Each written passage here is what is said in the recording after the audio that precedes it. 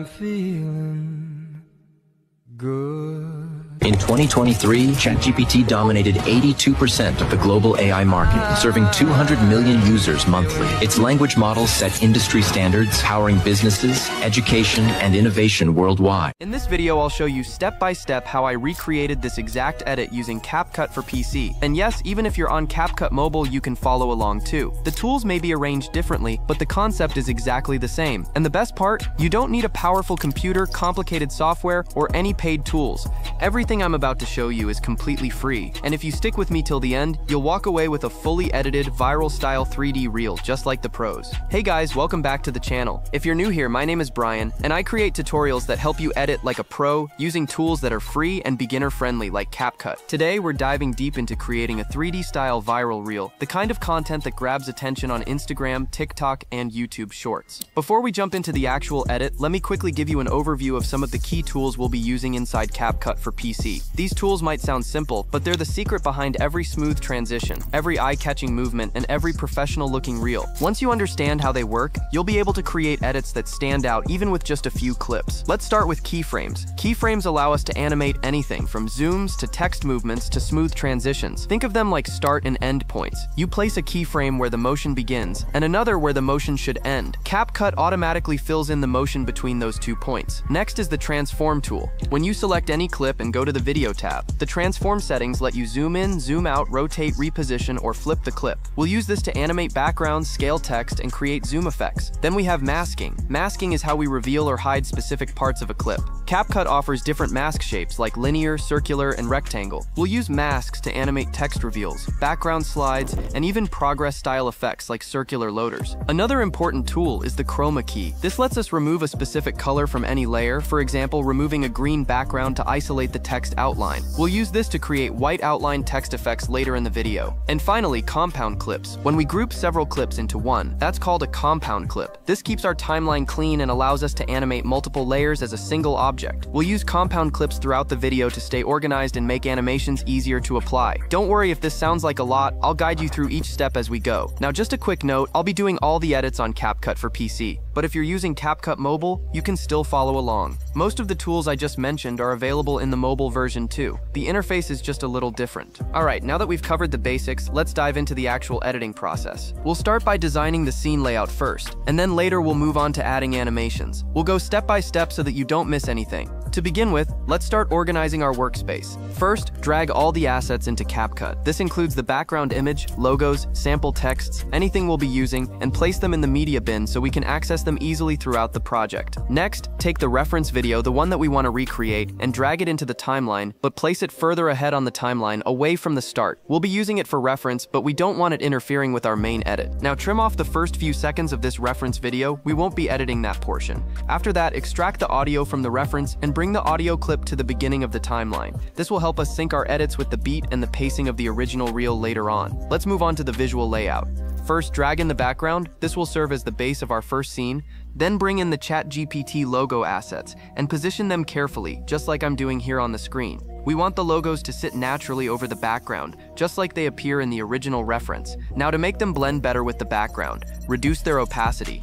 I've reduced mine down to 12%, which gives them a nice subtle look. They're there, but they're not too loud. Once you're happy with the positioning and opacity, select all the logo layers and create a compound clip. This groups them into one single layer, which makes the timeline cleaner and allows us to animate everything together later. Let's now add some text. Start by dragging in a default text layer and begin designing your text as shown. For this part, we're focusing on the IN text, which appears early in the reel. To recreate the same clean and modern style, apply a white outline around the text. This makes it pop without filling the inside. Then, add a green fill color to the text. Now here's the trick. We're going to make the green fill disappear, leaving just the white outline. To do that, create a compound clip of the IN text layer. Then, go to the Video tab and find the Remove Background Chroma Key section. Use the Color Picker tool to select the green fill and increase the intensity slightly until the green is removed, leaving you with a clean white outline text on a transparent background. Next, we'll prepare the 2023 text and its background. Duplicate the 2023 text, then remove the actual text inside the new layer and replace it with spaces so that it visually matches the width of the original 2023 text. Turn on background color for this text and choose a bold red. This is what gives that strong highlight effect behind the numbers. To match the size more precisely,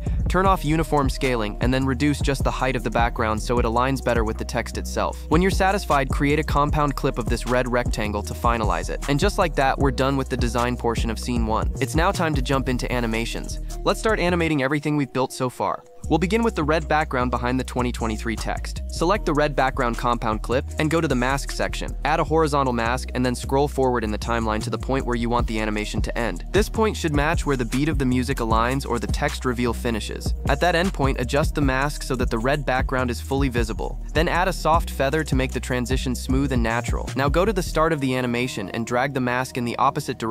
This will hide the red background initially, so that when it animates in, it looks like a fade in from left to right. Next, let's animate the 2023 text itself. In our reference reel, the 2023 text changes font rapidly in the first few seconds, a very cool trick to give the scene a dynamic, glitchy look. To do this, use the razor tool, press B to split the text every three frames at least five times. You can use the right arrow key on your keyboard to move forward precisely by frames. Once you have several short clips, go through each one and change the font to something different. Experiment with bold, italic, tall, or stylized fonts to make it visually interesting. After we've set that up, we now move on to the zoom in animation that starts this scene. Select all the layers, background, logos, text, and create a new compound clip. Scroll to the point where you want the zoom effect to end and add a transform keyframe. Then go to the beginning of the scene and scale the compound clip up slightly. This creates that zoom in effect as the scene progresses. To smoothen the zoom, press Alt plus K to open the keyframe graph and apply cubic out to the scale animation. This makes the motion start fast and slow down gently. Very smooth and professional. Next, we'll prepare for the transition into the next scene. Take the compound clip we just created and duplicate it, then drag it above in the timeline. On the upper copy, undo the compound clip so we can separate elements for the transition. This time compound everything again, but leave out the background and ChatGPT logos, those will stay static while the rest of the scene animates out. To animate the exit transition, scroll to where you want the scene to start leaving the screen, and add a transform keyframe. Move a few frames forward, and then drag the entire compound clip off screen to the left. Again, don't forget to smoothen the keyframes. I personally love using Cubic Out for clean, natural animation. And there you go, we've completed scene 1, both design and animation exactly like in the reference reel. In the next part, we'll jump into scene 2. Make sure that you're subscribed to this channel as we continue with our edit.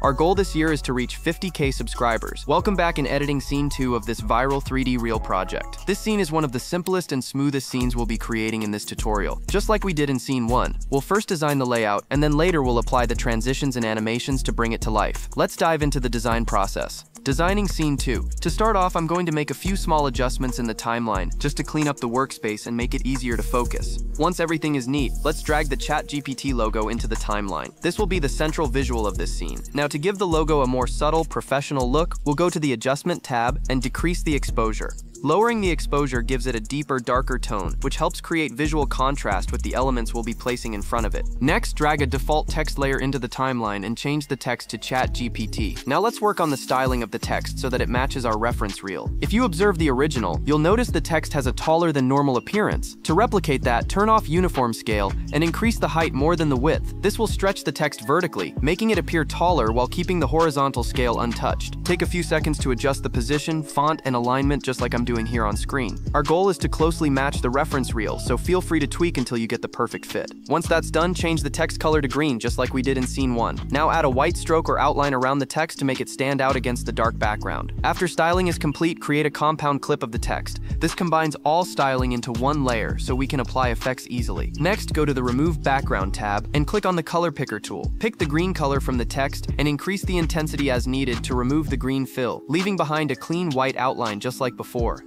Now here's a small detail that adds a lot of polish to this scene. If you look closely at the ChatGPT logo in our reference, you'll notice it has a soft drop shadow that gives it more depth. Let's recreate that now. Start by duplicating the original logo so you now have two identical versions. Drag one of the logos slightly to the side so you can see them separately while editing. Now go to the Adjustment tab, scroll to Curves, and adjust the curves as I'm doing on screen. This gives the second logo a darker shadow-like version of the original. Once that's done, position the dark logo underneath the main logo, so the original stays stays on top, and the shadow stays below. Now to create a smooth shadow blur, go to the Effects tab, search for a blur effect, and drag it onto the dark logo layer. Once applied, increase the blur amount to 100%. This gives it a soft, diffused look. Then go back to the Adjustment tab and reduce the opacity of the shadow logo to around 32%. This makes the shadow look more realistic without overpowering the scene. And just like that, the design of scene 2 is complete. Now let's group all the elements, the logo, the shadow, and the text outline into a single compound clip. This will make the next animation steps easier and cleaner.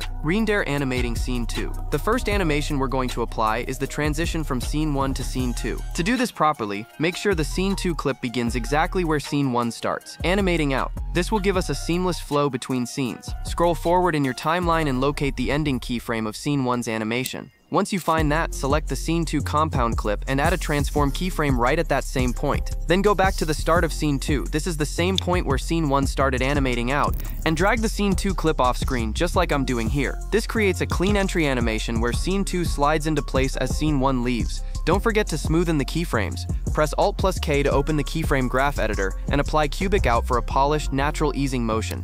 Now we'll prepare the outro animation for Scene 2. This is the animation that transitions to Scene 3. To start, listen carefully to your audio and mark the point where Scene 2 should begin to animate out. Once you find that moment, add a transform keyframe at that position. Move a few frames forward and scale the compound clip down slightly. Then scroll to the Blending tab and add a keyframe for opacity. Reduce the opacity all the way down to 0%. This makes the scene fade out while it's zooming out at the same time. Now go back to the first keyframe of this animation and also add a blend opacity keyframe there.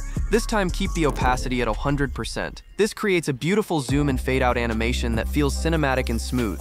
And there you have it, scene 2 is complete. We've successfully designed a clean, professional layout using the ChatGPT logo and text, added shadow effects for realism, and built in both entrance and exit animations using transform opacity and timing-based keyframes. In the next scene, we'll be introducing a circular progress animation with text inside it, and I'll show you exactly how to build that effect using CapCut's mask and transform tools. Let's move on to scene 3. Designing the 82% circular progress element. If you closely observe our reference video, you'll notice a bold yellow circle, showing 82% inside it. That's the first thing we're going to recreate. Let's begin by dragging a default text layer into the timeline. Replace the text with a capital letter O. Now scroll through your font options and choose a thick, bold font that makes the O look like a clean circular shape, something that closely resembles a progress ring. Play around with a few fonts until you find one that gives you a solid, bold, circular appearance, like what I have here. Next, drag in another default text layer, and this time change the text to 82%. Place the 82% text directly in the center of the O text, making sure it's properly aligned and readable. Now click on the O text layer, change its color to a bright yellow, and create a compound clip to group it as one unit. After that, copy this compound clip and paste it on a track above the original. Select the first version of the compound clip and go to the mask tool. Apply a horizontal mask and adjust it to reveal only the top half or one side of the O. Then do the exact same thing on the second copy but mask the opposite side. This will give us two halves of the circle which will animate separately. To help keep things clear visually, you can temporarily slide one of the clips to the side, that way you can confirm that the mask directions don't overlap or cancel each other out. Once both halves are masked correctly, create a new compound clip that contains both of them. We're doing this because we can't apply additional masking on top of an already masked clip without combining them first. This way we retain the current masks and free up the layer for more animation. Animating the circular progress 0 to 82%. Now we'll animate the 82% loading effect. Let's start with the 0 to 50% portion of the circle. Select the new compound clip and go to the start of the timeline. Add a mask keyframe and adjust the mask so that the circle appears invisible or partially hidden. Then move ahead in the timeline to the point where you want the first half of the animation to end. Now adjust the mask so that it reveals up to 50% of the circle. Next, we'll animate the 50% to 82% portion. Make sure this part of the clip begins right after the first half finishes animating.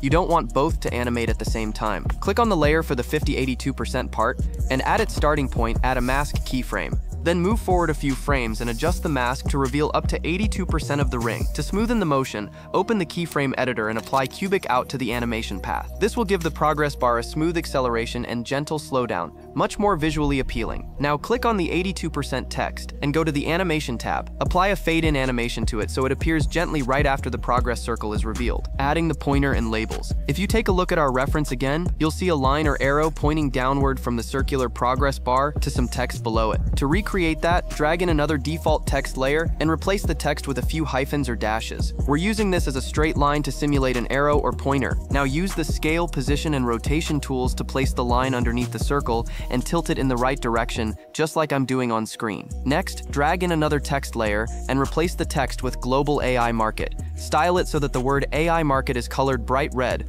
while Global can remain white or gray. This creates contrast and makes the message more powerful. Make final position adjustments for the line pointer and text so that everything looks cohesive. Once you're happy with the layout, create a compound clip of the line, and both text elements to keep the timeline organized. Green Dare Scene 3 entrance animation. To animate this scene into the video, drag the circular progress group into the timeline and position it right where Scene 2 starts animating out. This will give the illusion of a seamless transition. To speed up the circular animation, simply bring the animation keyframes closer together. This will make the loading effect happen faster. Now locate where Scene 2 finishes animating out. At that point, select the Scene 3 compound clip and add a transform keyframe and a blend opacity keyframe. Then go back to the start of Scene 3 and scale the clip down slightly. Reduce its opacity to zero, so it starts hidden and small, then grows and fades in together. This creates a zoom plus fade in effect that blends beautifully with the previous scene.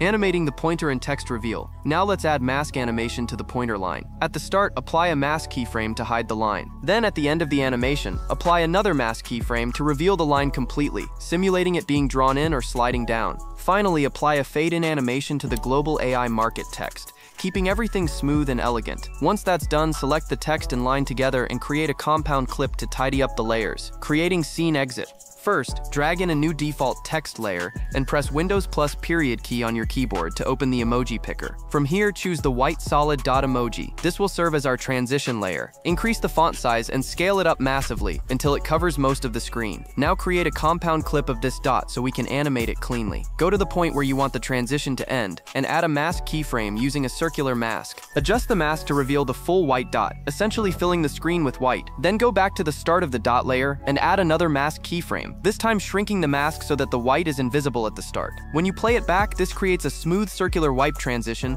that leads us right into the next scene. And that wraps up scene 3. We've created a clean, animated 82% progress ring, designed a visual story around AI market data, and transitioned out with a cinematic white reveal, all inside CapCut, using free tools and smart layering. Let's jump into scene 4 next, where we'll explore more data-driven visuals and advanced transitions.